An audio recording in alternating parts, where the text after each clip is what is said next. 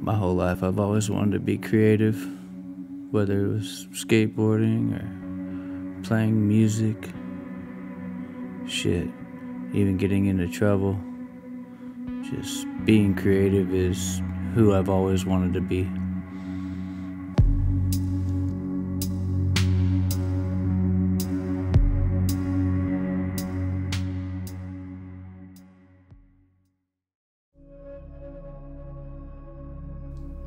My name is Gregory Fischer. A lot of people know me as Fish Tank, and I'm from Richville, California.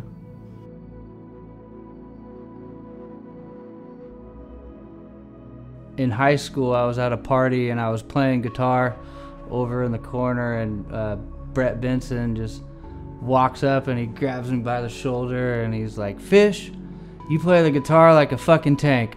I'm gonna call you Fish Tank. And then after then, like that was that was my name. That's everybody calls me Fish Tank.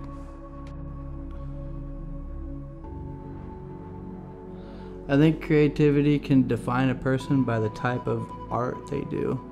Um, whether it's guitar playing or photography, I feel when you look at somebody's art,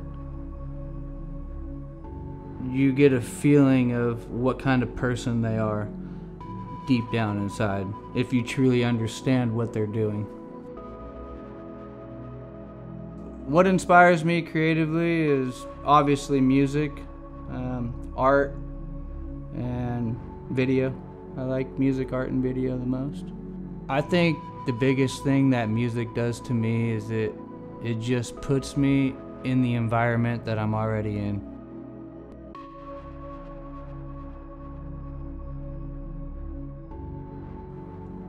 When I played the national anthem in high school um, at a rally, um, I didn't really know what I was doing. I knew how to play the song, and I had the ugliest of all guitars. But when I got done hitting those last final notes, and the whole gym just like cheered for me and clapped, like at that moment, I was like, that's what I want to do.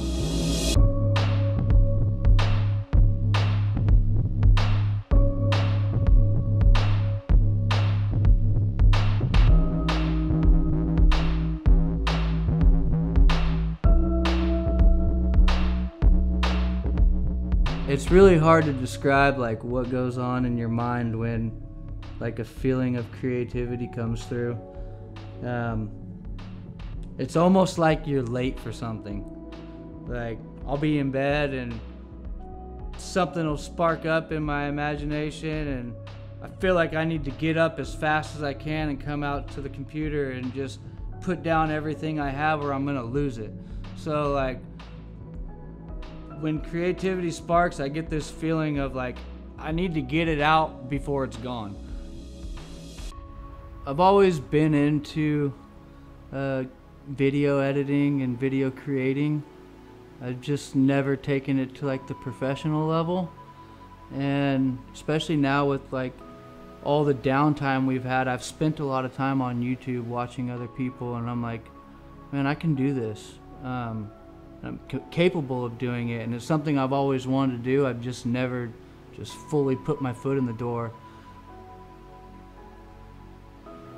I was always known at school as the kid with the camera, always getting into trouble.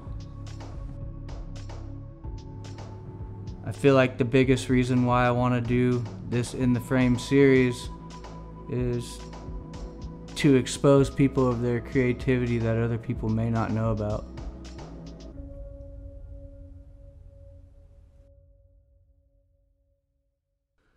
My whole life has been dedicated to this moment, and I didn't even know it until now. Like I've uh, everything I've ever done, and all the things that I've learned um, and taught myself how to do, I'm putting that all together right now and going full speed with it.